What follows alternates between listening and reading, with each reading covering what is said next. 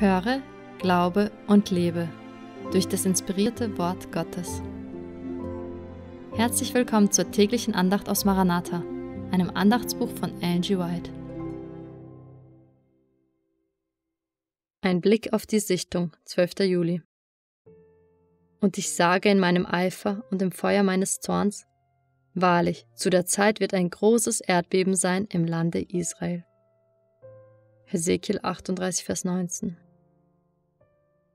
Ich sah, wie einige mit starkem Glauben und mit Schreien aus tiefer seelischer Not mit Gott rangen. Ihre Gesichter waren blass und von tiefer Angst gekennzeichnet, Ausdruck ihrer inneren Kämpfe. Gleichzeitig drückten sich in ihrem Gesicht Entschlossenheit und großer Ernst aus, und große Schweißtropfen fielen ihnen von der Stirn.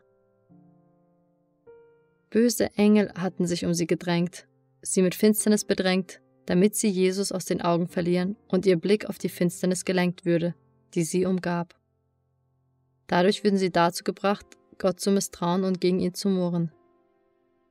Ihre einzige Sicherheit bestand darin, ihre Augen nach oben gerichtet zu halten. Gottes Engel betreuten sein Volk, und als die giftige Atmosphäre der bösen Engel diese geängstigten Menschen bedrängte, bewegten die himmlischen Engel ständig ihre Flügel um die dichte Finsternis zu zerstreuen.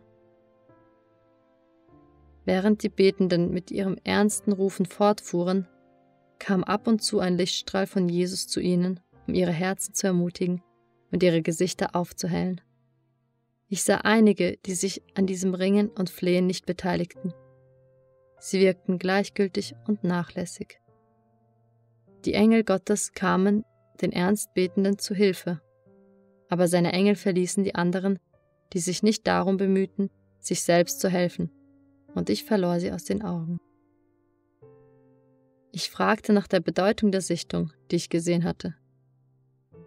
Mir wurde gezeigt, dass sie durch das offene Zeugnis verursacht würde, das der Rat des treuen Zeugen in die Laodicea-Gemeinde hervorrief.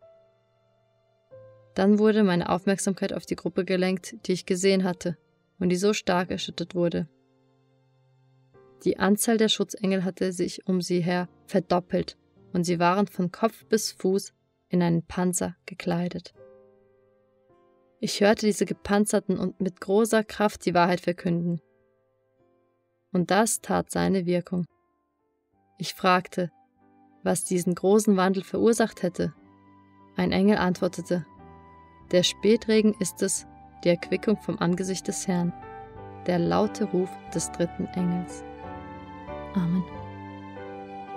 Der Herr segne und behüte dich und gebe dir seinen Frieden.